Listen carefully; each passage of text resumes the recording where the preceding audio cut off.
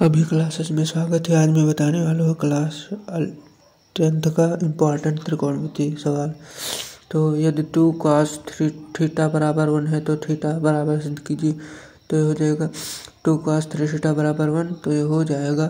Cos three theta बराबर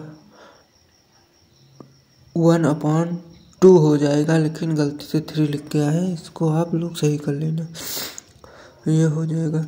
फिर cos साठ डिग्री हो जाएगा ये सूत्र। होता है वन अपॉन टू।